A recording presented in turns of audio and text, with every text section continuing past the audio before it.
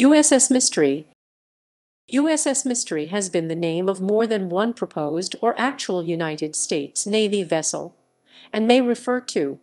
USS Mystery SP-16,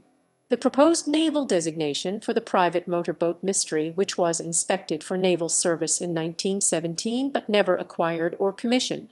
USS Mystery SP-428, a patrol boat in commission from 1917 to 1919. USS Mystery ID-2744, sometimes reported as SP-2744, a support ship for minesweepers in commission from 1918 to 1919,